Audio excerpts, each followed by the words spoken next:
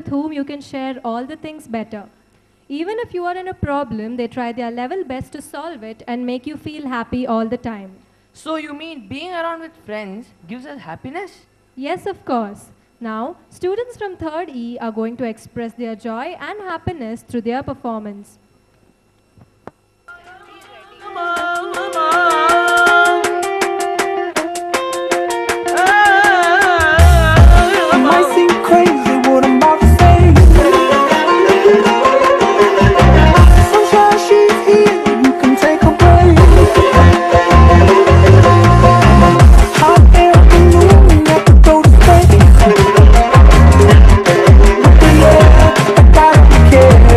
pasado.